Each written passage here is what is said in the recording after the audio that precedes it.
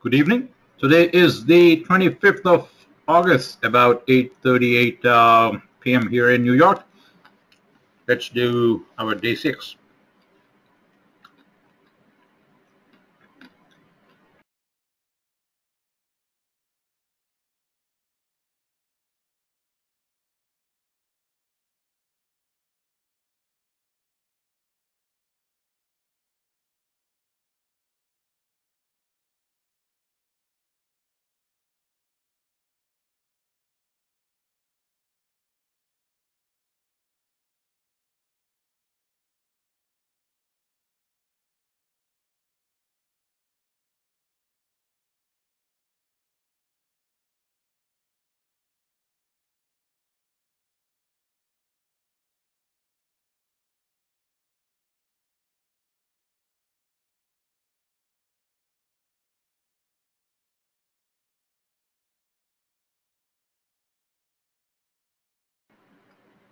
Sorry about that.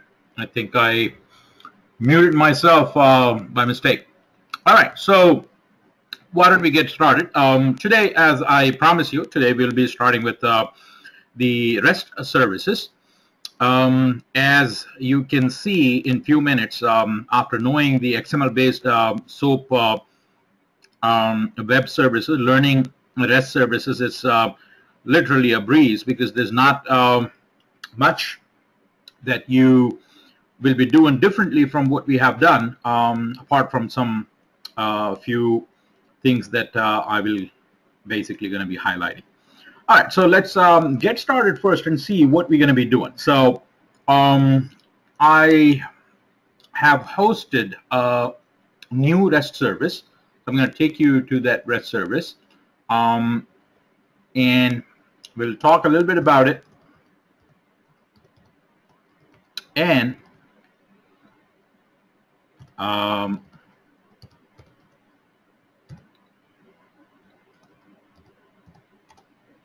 and we'll see uh, how we're going to be testing it.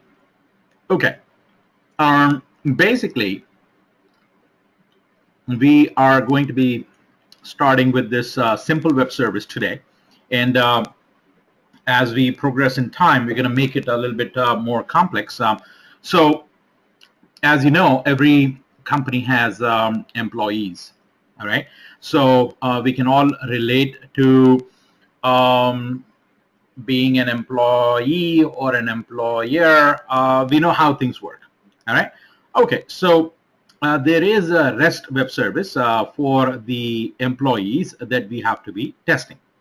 So to begin with, what is a REST service? How do we go about testing a REST service?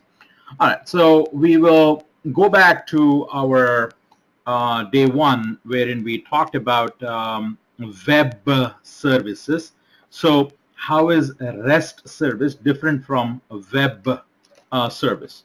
So basically what um, happens here is it's all about the way your uh, service is architected. Um, so the architecture is going to be different in here. So I'm going to be um, taking you over here to um, basically draw a picture and then show it to you as how things are going to be different. Okay, so there is going to be a server and on the server will be these REST services deployed. All right, so if I go in here and if I make believe that this is our server, um, on this server we'll have uh, will have will have your REST services deployed.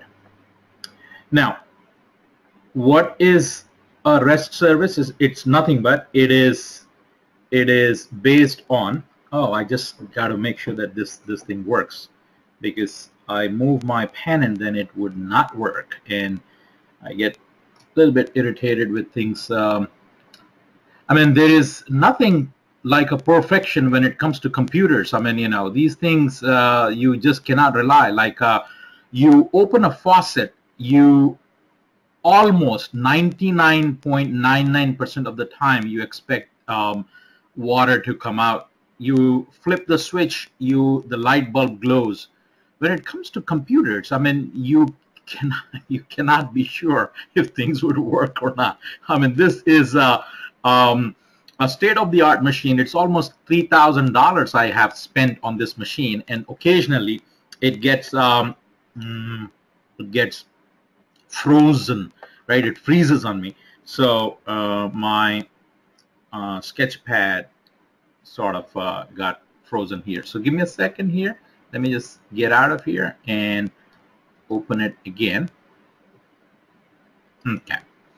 So what we're talking about these REST services are, um, these are services uh, that are going to be deployed on uh, the server. So this is nothing but some code, right? Uh, some developers have written this code, and the the the way it is going to be different from uh, uh, the XML-based web service is, in case of an XML-based web service, the input has to be XML and the output was also sent as XML. So they were totally XML based.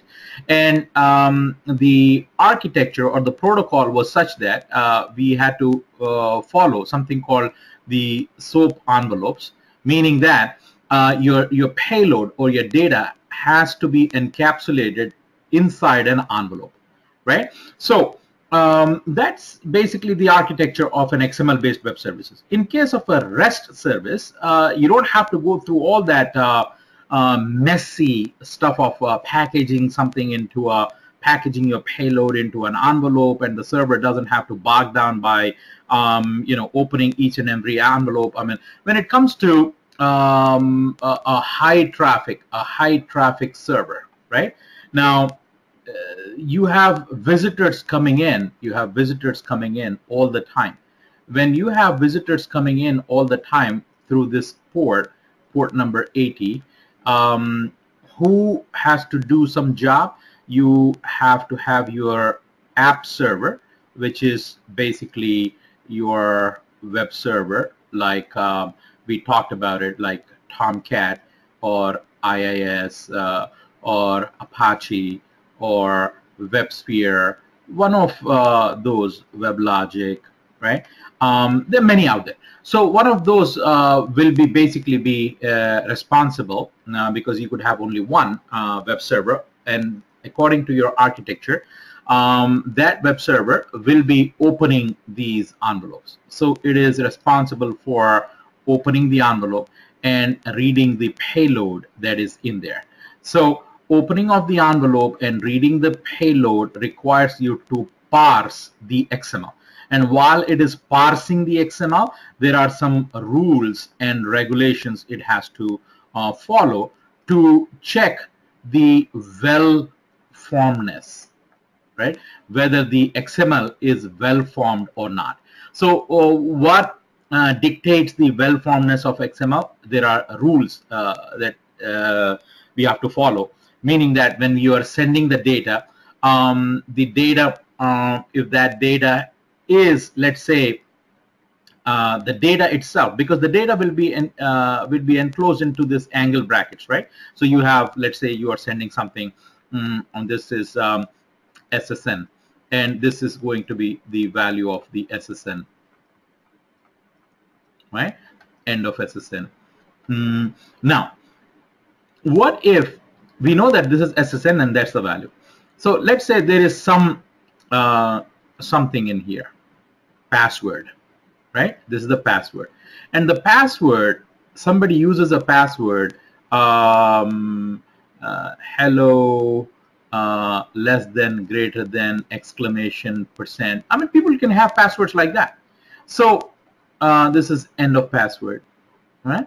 So once you hit this, once you hit this um, now it's going to throw off everything because because it it thinks that this is another XML um, you know um, tag or a uh, another node of XML so you you have to it'll it'll bog down it'll it'll fail it'll uh, uh, send what is called a soap fault so because everything is um, encapsulated into these kind of like elements wherein you know you have these things so your server has to parse it has to open every node and read what is the data and got to make sure so all that. So when it is okay, I mean, it is okay if you have like low traffic, like one or two or three or four. But if it is a Thanksgiving and you have like a uh, or a Christmas or a Valentine's or like you know take any holiday like that wherein you are you're Amazon.com, you're eBay.com, you are uh, you know some retail huge uh, business in retail and you have lots of orders coming in and every time it has to open this and then while opening it it you know it's doing some work. So as it is doing more and more work and it tends to become you know slower and slower and slower. So what they uh, decided is uh, we can be getting traffic not necessarily from just the computers. We could be getting it from uh, tablets. We could be getting it from phones. We could be getting so uh, this this architecture which is about putting everything into an envelope and somebody had got to open the envelope and parse that that that's that was not working. That was not working um, actually starting from 2009 anything before 2009 things were fine uh, the reason it got bogged down into 2009 is because uh, of um, you know mobile devices uh, popping up um, in the year 2009 iphone apple came out with iphone and then everybody started mimicking them and then or once they came out with iPhone, there were a lot of apps on it, and people start started to explore it. And uh, so uh, the end result is uh, your server started getting more and more traffic because the traffic now uh, was coming from multiple devices, not necessarily just the computers, but the, from the tablets, from the from your mobile phones, and uh, uh, now with this wearable gadgets, um, you know, I mean, I don't know to what extent um, Apple. Um, is enjoying the success of um, uh, the watch, I uh, you know Apple Watch. Uh, but um, anything uh, in its uh, infancy stage mm, will see some resistance. Um, but once you know, things starts to pick up, maybe people will find more reasons to buy that iWatch because they were not able to at least to me uh, they did not convince uh, me to buy that iWatch. I mean, it's a it's a status symbol. Uh, I mean, I want people to uh, look at me if I'm wearing that because it's like a $400, 500 dollars uh, gadget, which God knows what it is doing.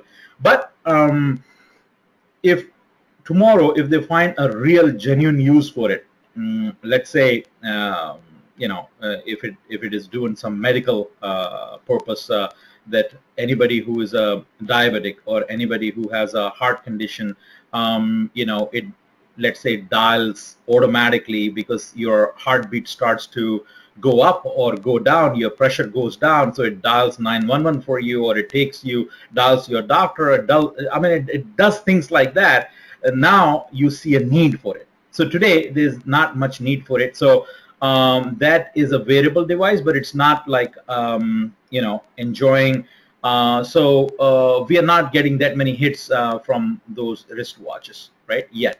But someday we might get it. So that's like one extra device. So you have to design your your architecture uh, in such a way. Uh, you have to design or you have to architect your systems in such a way that uh, um, it's not just um, adding more and more of the hardware. Your software must be designed so that it can be um, uh, providing you with optimum performance. So this XML-based um, web services was not the answer to it um, because um, you know of the reasons I gave you. So they started to look at something else, and what they found is REST, uh, which, believe it or not, uh, was around since 1997 but was not being used because uh, this guy, XML-based web services were extremely popular because it was doing everything.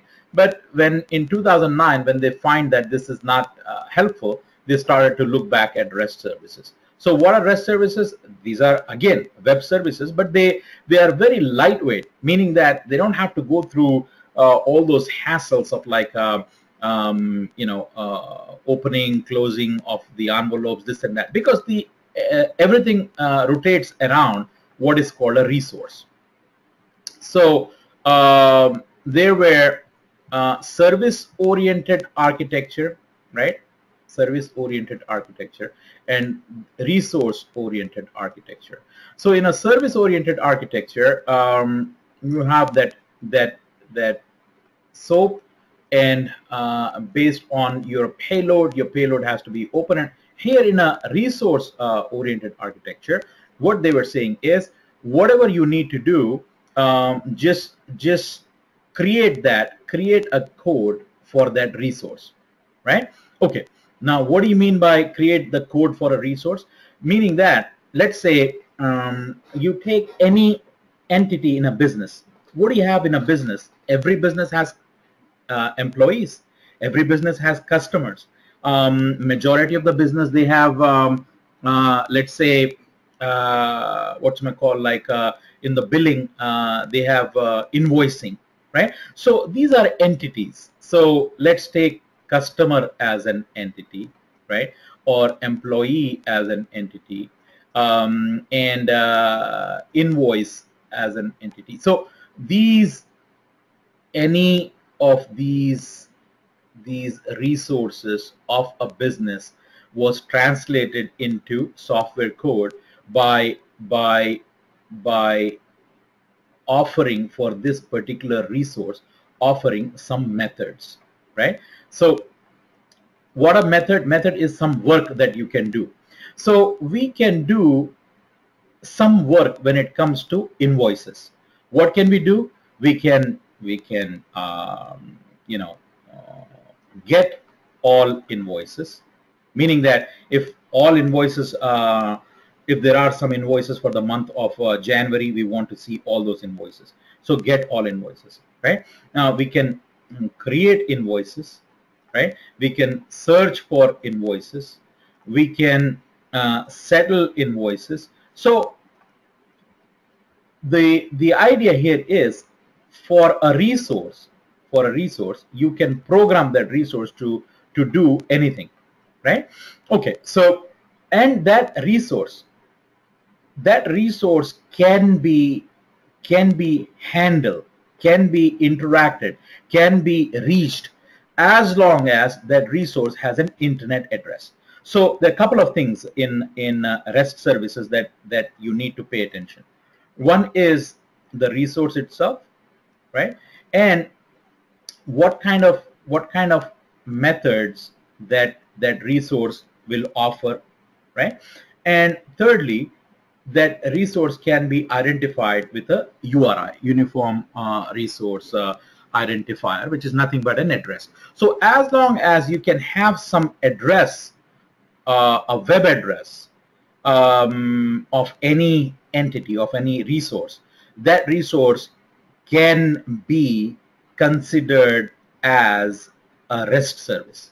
So what does a REST service do? Like any other service, um, the idea here is like any other service REST service is the architecture is going to be slightly different but it is going to again take some input give you some output so here is my rest service sitting sitting on a server and if you need to call this rest service this rest service will be based on a resource um, it can be uh, let's say a car right?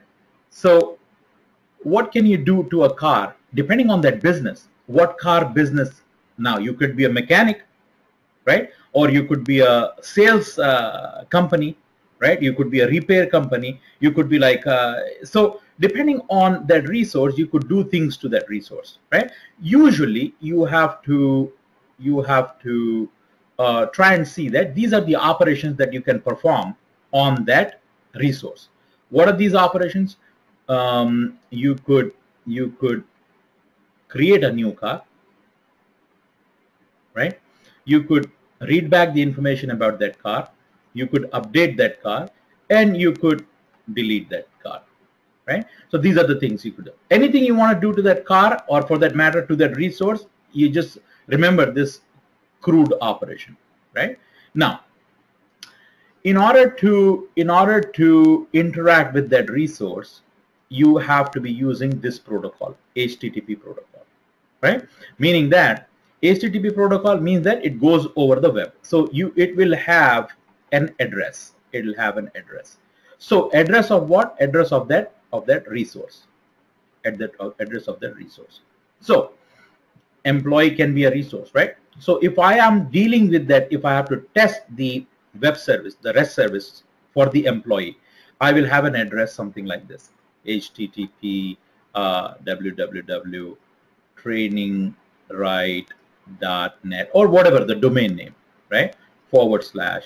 Um, usually, depending on how you build it, uh, just so that people understand, it's going to be an API, uh, and you don't just put that API right there. You probably would put it into some folder, some folder API, and then um, whatever that resource is going to be. So let's say if it is a car. So if you if you do cars it is going to it is going to do what it is internally it will be there is some routing that is happening right there is some routing that is happening so uh, you can build some methods right? You can build some functions.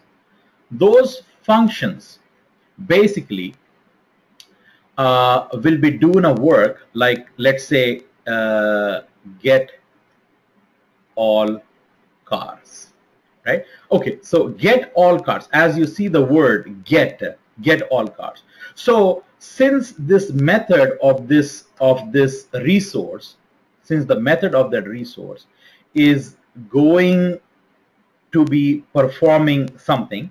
That performing something depends on depends on these verbs right? There are four things again. There is something called get right? There's something called put. There's something called delete right? Now uh, your your get is going to be acting as a select right? Or acting more like a read. So the http verb get is going to return you something right? Put is going to update something is going to update something right? Now delete of course is going to delete right? And then there is something going to be called post. So if you are using any one of these try and understand you got to be there and there are some more but the the four verbs http verbs are more than enough for you to understand REST services uh, because you will be given some documentation to test these REST services and the way you're going to be test, testing these REST, uh, REST services using the uh, tool, the SOAP UI Pro or the Ready API is you have to have an understanding of which which HTTP verb you have to be using and and performing what. So usually if you are deleting something then you will be using the delete uh, HTTP verb. If you're updating something, if it is about the updating of, there will be something like, uh, um, let's say here, um, uh, it's not going to be as obvious as update car, right? Uh, it, it, I mean, they might they might not use the word update or they might use the word update. It's totally up to them. But whatever this is, right? It, eh, let's say um, what what should I use other than update to uh, give you an example of, of update? So let's say modify, modify car. Modify car, right, is the name of the function that they are, they are giving. But internally, how do you modify a car? Let's say before it was manual car and now you are making it uh, auto automatic car right? I mean, that's that's not basically a modification. The modification can be uh, before there was no air conditioning. Now you have air conditioning. So that is some modification. So uh, let's say before color, before it was red color, now it is blue color, right? So that's a modification. So if you are doing that, what verb will you be using from here? So sometimes you have to use, you know, um, your brain in terms of um, if that is about changing something, so I cannot be using uh, get. Uh, I'm not deleting anything, so it's for this particular modify cars, it's not about that. Can I use post? Post is for anything new, which is basically for insert. So I should not be using, so I should be using a put verb, right? Okay, so uh, just keep these things in mind. Now, uh, having some little vague idea of of these words, let us uh, talk about testing a REST service. Okay, in order to test a REST service, what documentation will you be given? So uh,